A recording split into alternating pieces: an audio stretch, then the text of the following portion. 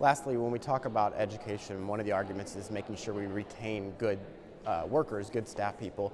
I know AISD, Austin Independent School District, had just done this domestic partner benefit. Uh, what, do, what do you think about that? I'm very encouraged that they've done that, and I'm pleased to see at the local level, all around the state, that more and more communities are inserting into their anti-discrimination ordinances sexual orientation as a reflection of their community values. I think it's good for the state, it's good for our economy.